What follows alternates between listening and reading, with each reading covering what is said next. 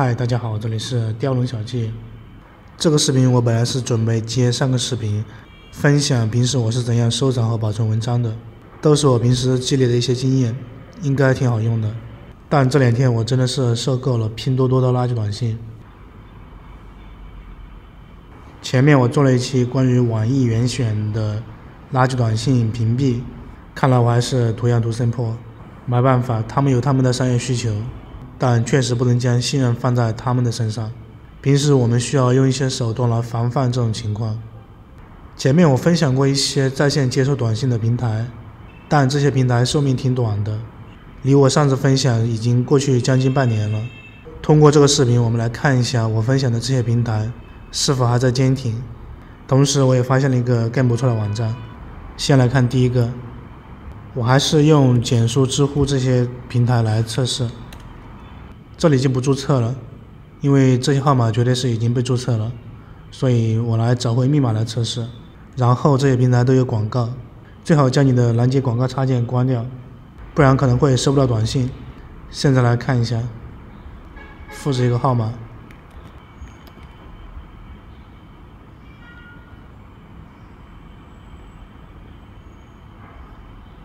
阅读短信，大家都懂得一些重要的账户。比如微信、支付宝，都不要用这种号码来接收短信，毕竟这是公开的，谁都可以接收。现在我来刷新一下界面，看收到没？已经收到了这一条简书。再来看一下知乎，输入手机号码，获取短信接收。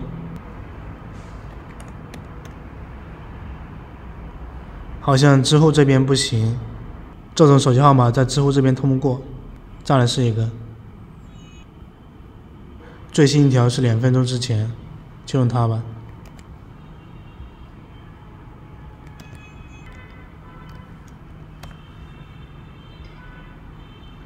这个号码可以，应该过来看一下，刷新一下，还没出来。已经出来了，知乎也是可以的。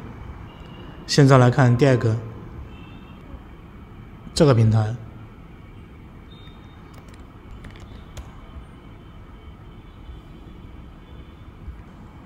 先看一下接收短信的时间，五秒钟、两分钟，说明这个号码应该是可以用的。重新发送。再来刷新一下，已经可以了。再来看一下知乎，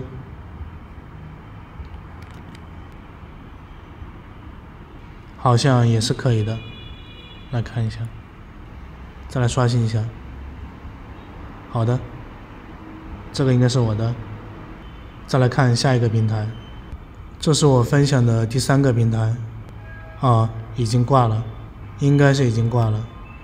正如我前面所说，这种网站平台的寿命很短的。再来看下一个，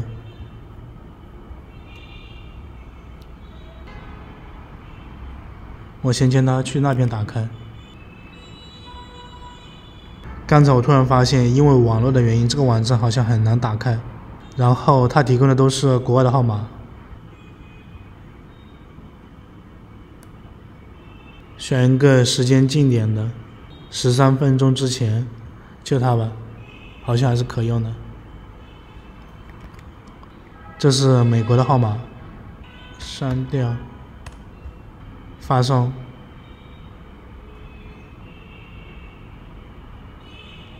这个号码好像不行，我来刷新一下，再选择美国，粘贴。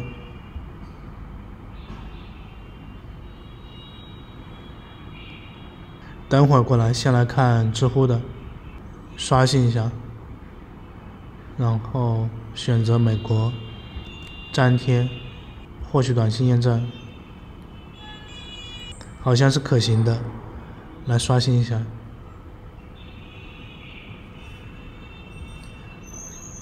已经收到了，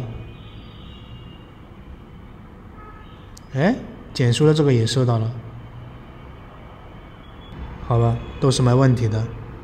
这是我博客分享的四个，然后其中有一个挂了，其他三个还是可行的。然后还有一个是我最近发现的，我自己也用过，这个网站对 IP 做了一些限制，可能不一定你能打开。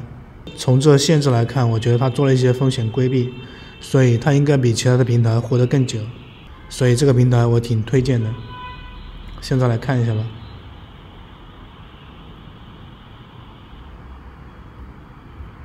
看这时间还是可行的，复制来看一下。发送验证码，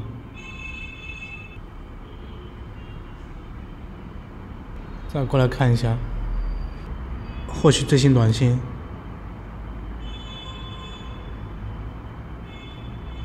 还没收到，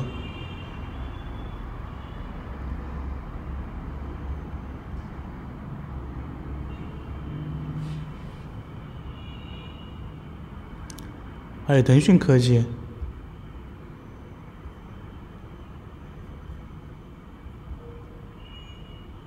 再来刷新一下，已经收到了。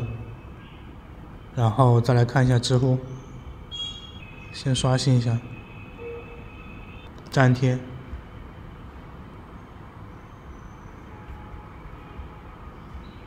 刷新一下，一样已经收到了。这四个平台就是我向大家推荐的。然后关于这一类短信接收平台的使用，我觉得这里写的挺好的，别人也是可以通过这个号码来找回密码的，所以注册时要注册个人信息，然后这些号码不要用于银行、证券、金融、保险、支付、借贷等操作，这也都是临时号码，及时解绑一些这样的信息，看大家怎样合理有效的使用这些在线接收短信的平台。以上就是我要分享的内容，同时向大家推荐一下。